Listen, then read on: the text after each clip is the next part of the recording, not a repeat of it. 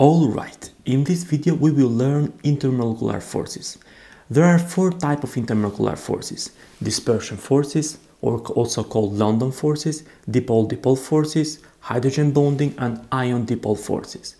Let's start with the first one, dispersion forces that are present between all the molecules. Dispersion forces are the result of the fluctuation in electron distribution within the molecules or atoms. Since all atoms and molecules have electrons, they all exhibit dispersion forces. Let's take a look at this scheme.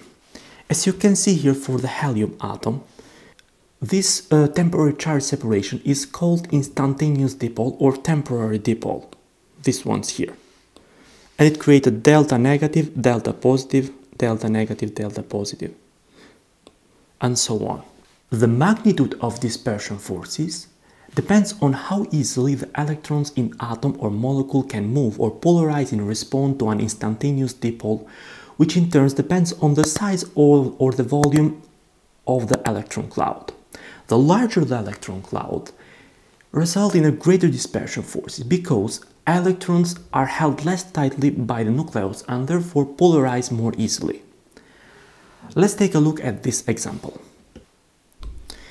As you can see here, with noble gases, helium, neon, argon, we have an increase in the molar mass, but also we have an increase in the boiling point, which means that the atoms are more strongly attracted to one another by increasing the molar mass, which means that we have an increase in the dispersion forces.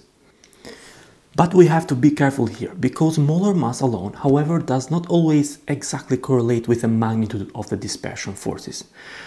Take a look at this second example. We have N-pentan and neopentan. The molar mass is the same, but the boiling point of the N-pentan is way higher compared to the boiling point of neopentan. This is related to the large area of interaction in the case of N-pentan, as you can see here, compared to the small area of interaction of neopentan. As you can see, the interaction here is smaller. Although we must always consider the molecular shape and the other factors in predicting the magnitude of dispersion forces, molar mass can act as a guide to determine for a family of compounds the magnitude of the dispersion forces. Let's move now to dipole-dipole forces. They are forces that exist between all molecules that are polar. But what are polar molecules? Polar molecules are the ones that have electron-rich regions and electron-poor regions due to the difference in the electronegativity of elements that molecule contains. It is a permanent dipole. It's not like a temporary or instantaneous compared to dispersion forces. Take a look at the acetone molecule in this case. It has a region that is electron rich, that is this region here to the oxygen side, because oxygen is more electronegative than the carbon, and the region that is electron poor, that is delta positive, and this is delta negative. You see that molecules are arranged in a way that they attract each other.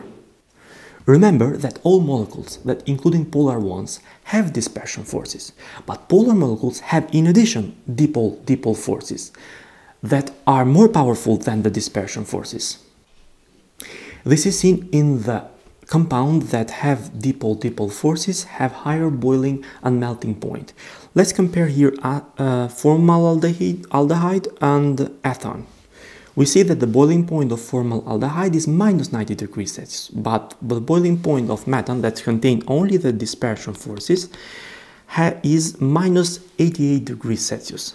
This one here contains dispersion forces, but contain also dipole-dipole forces in addition. Here you see that we said at the beginning that molecules that are polar are contain dipole-dipole forces. But in this case, this molecule of carbon dioxide is non-polar because dipole-dipole forces cancel each other. Let's move now to the hydrogen bonding. Polar molecules containing hydrogen atoms bonded directly to small electronegative atoms, most importantly are fluorine, oxygen and nitrogen, exhibit an intermolecular force that is called hydrogen bond. HF, ammonia and water are the typical examples that exhibit hydrogen bonding. But what is hydrogen bonding? The hydrogen bonding is sort of super dipole-dipole force.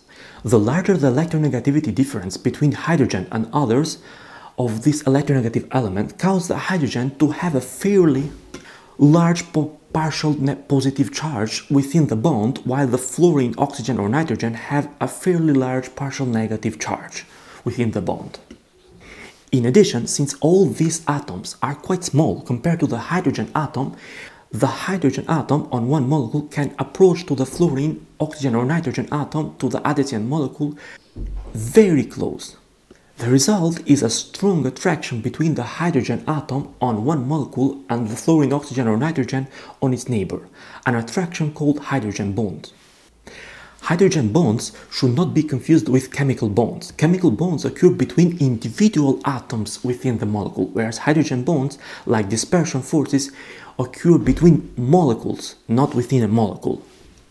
For comparison, a, hydrogen, a typical hydrogen bond is only 2 to 5% as strong as a typical covalent chemical bond. However, hydrogen bonds are the strongest of three intermolecular forces mentioned until, up until now. Take a look at the water molecule. This one that are created here are hydrogen bondings. Due to the hydrogen bonds, water molecule has a boiling point way higher compared to the trend on the group. As you can see in this presentation, we see that the water molecule, if there was no hydrogen bonding, should have had a boiling point around minus 90 degrees Celsius. Due to the boiling, due to the hydrogen bonding, the water molecule has a boiling point 100 degrees Celsius at the sea level. This is critically important for the life in Earth. Imagine water, imagine water molecules without hydrogen bonding, what would have happened? All the water in the world would have been in gaseous state. The last one is ion dipole forces. Ion dipole forces occur between an ionic compound that is mixed with a polar compound. It is especially important in aqua solution.